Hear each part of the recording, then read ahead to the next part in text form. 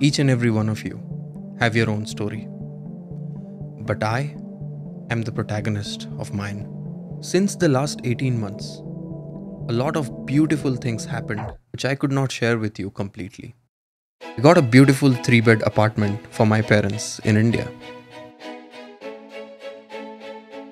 I introduced the love of my life to my family. We took our parents on a US tour. But most importantly, with that, we bonded. I traveled internationally to bring back my lost confidence. I married my fiance in an action packed wedding.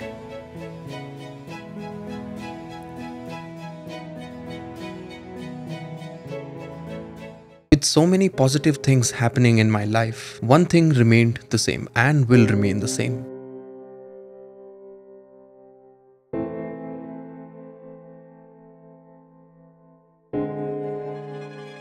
Our mundane life. With such repetitive tasks, I was disappointed. Not because there's so much to do, but because I wasn't doing my passion project content creation. I was procrastinating. I was lazy. With so many comeback stories out there, I believe the best comeback story of all is my own. So I thought, why not write one for myself?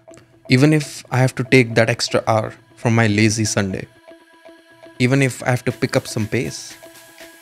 And if nothing works, maybe I have to reinvent myself.